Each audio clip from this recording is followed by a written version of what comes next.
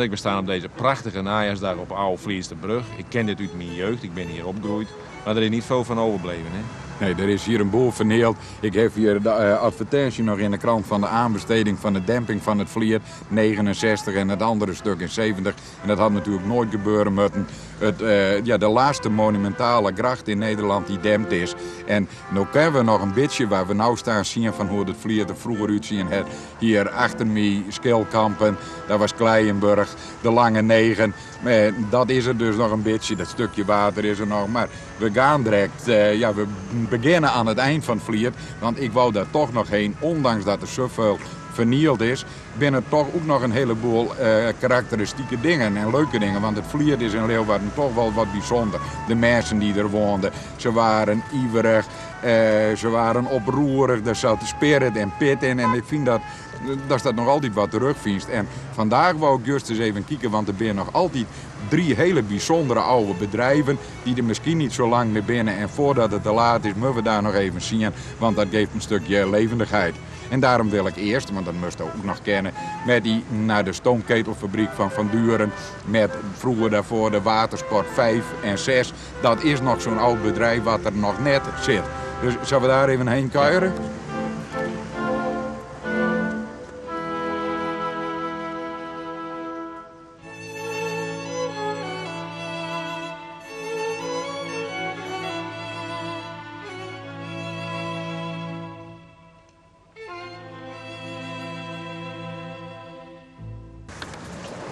Goedemiddag. Dag meneer Ah nee. Wij wilden Ja. graag even bij u binnen zien. Dat is misschien wat gek, maar u is niet alleen al een hele oude bewoner van Vliert, Nee. maar u heeft hier ook nog altijd een zadelmakerij Ja, achter. inderdaad. Kan dat ook even? Natuurlijk. Ja, nou, komen we erin.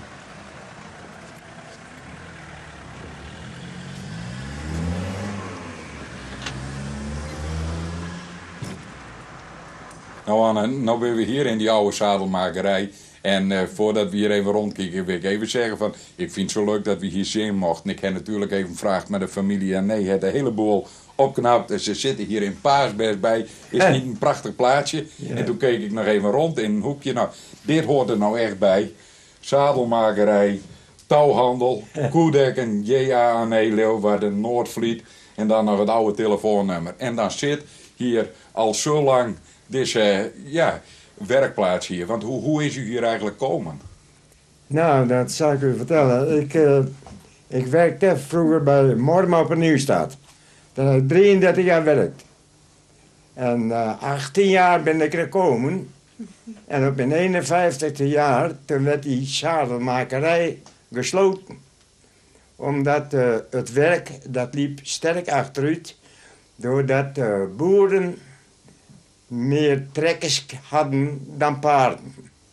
Ja. Dat, En toen is u hier begonnen. En uw vrouw, die ook altijd meteen? ja, Je Toen hier... ben ik hier gekomen en dan ben we, hebben we eerst hierboven gewoond. Want hier woonden mensen. En zeker het Kaspers. En ben ik hierboven begonnen.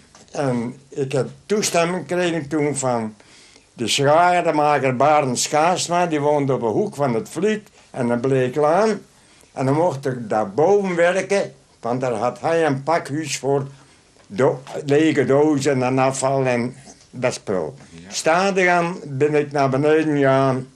eh, kreeg ik de kans om dit huisje te kopen. Ja. Dan heb ik dit huis gekocht van een, eh, een huiskemelker, zal ik maar zeggen. Die kwam hier toevallig langs en, om te kijken. En toen heb ik hem daar duizend gulden voor en dan heb ik dat huis gekocht. Duizend gulden.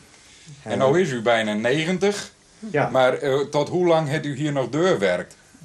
Ik ben hier met 51 jaar begonnen en ik ben met 82 jaar opgehouden. 82. Toen moest ik ophouden omdat het niet meer kon. Je had dan vroeger een zadelmakerij. En als je dan een zadel maakt, nam je dan ook eerst de maat van? Dan weer dat een domme vraag. Nou, dat was nee, dom, dom, wat is dom? Kijk, eh, je moet alles leren, hè? Ja. Wij kregen al lessen voor de zadelmakerij. En daar, daar leerden we al precies de maat uit het hoofd. Ja, ja. En ik heb toen voor alle gemak heb ik het opgeschreven in een boekje. Dat ik kon me nooit meer vergissen. Dan had je gewoon bovenlander is zo breed en Belgische knol is zo breed. wij namen altijd eerst het, het eh, gewone maat van een paard, van een gewoon paard. Ja, Die had een rugstuk van 120, kreeg over de rug. ja. En het borststuk, dat was 150. En dan naaiden we die hoeken met pikdraden aan elkaar vast. En hoe lang was je daar met één zadel bezig? Nou, als dat een beetje lukte, dan maakten ze natuurlijk eh, twee uren. Zo, Dan kwam een ophouder aan, over de rug heen. ja. Nou, en dan eh, was dat verder af. En waren het op die machines allemaal, die, die, die erachter Die staan? maakt me hoofdzakelijk op die machine, die, die erachter staat. Ja, Maar deze konden we er ook wel voor gebruiken hoor. ja. Maar hier maakten we meer posttassen op, zware leren posttassen. Voor de PTT. Ja, voor de reparatie. Nieuwen hebben we nooit gemaakt. Zat er een goede boterham in? Nou, ik ben niet klaar. Nee. Nee, er is nog wel hard overgebleven. Ja. Gelukkig. En het is hier ook behoorlijk veranderd hè, met het vliet hiervoor. Vind je het jammer dat het weg is, het water? Ja, jammer. Ja, Ja, ja, jammer. Toen, op dat moment, toen het wegging, toen zijn we gelukkig, het stinkt niet meer. Want aan mijn vader koper poetste, dan was het andere dag weer, weer helemaal ja, ik wil weer opnieuw beginnen. uitslagen en hé, hey, dan kon je wel weer beginnen. Ja. Mevrouw nee, ja. jullie hadden een zaak aan huis. W- wat moest u hier nou doen? Wat ik doen moest? Voor de zaak. Ja, de huishouding natuurlijk en de Ja, de huishouding en eh, ik bracht de spullen weg in het begin. Op een oude fiets. Ja. Hé?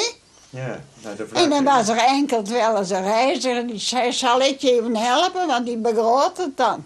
En dan ben ik ook wel eens met de reiziger naar de Butterhoek geweest. Butterhoek zeggen we, ja dat Ja, was, daar was toen de stiets. eh, daar hadden je stalhouderij en een ja, peren. ja. Was het zwaar Ja. werk? Nou, tamelijk, want ik had soms een hele fiets vol. Nou, ik had er plaats een, eh, een eh, hoe iets zo'n ding, bagagedrager voorop. Nou, dan had ik die wel eens mooi vol. Ja. En hoe vond u het hier aan het vlier? Prachtig.